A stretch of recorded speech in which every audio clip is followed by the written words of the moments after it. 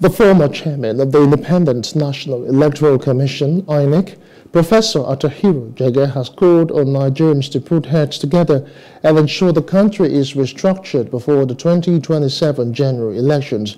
He said power devolution to the subnationals was critical for the country to develop.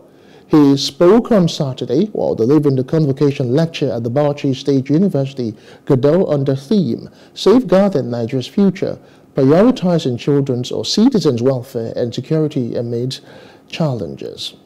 I have a section in the where I have clearly delineated with statistics to show how lack of these values and orientation, how bad governance, and how lack of good leadership uh, uh, actually uh, is pushing Nigeria towards becoming a failed state. As I have said, I don't believe Nigeria is a failed state, but I think, and we need to realize that Nigeria is a failing state. Nigeria is a failing state. And if we don't take care and we put it in jeopardy, we can't safeguard it, then the worst can happen, God forbid. So my argument is that between now and 2027, we need to pull our heads together, have a reasoned, rational, restructuring the Nigerian Federation. Jega lamented that the high cost of governance must be addressed to safeguard Nigeria's future.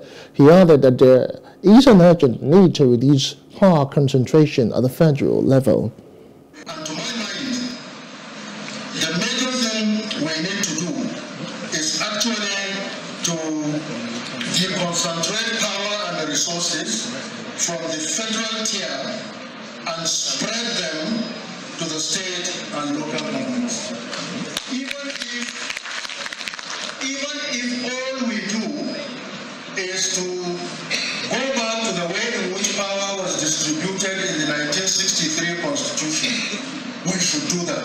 But I even think we should go beyond that because we need to reduce the power of the federal government because in fact that power of the federal government in which whoever is elected president controls virtually all the resources, you know, creates the reality, but more importantly the perception that those are used against one group vis-a-vis the other. Hello, hope you enjoyed the news. Please do subscribe to our YouTube channel and don't forget to hit the notification button so you get notified about fresh news updates.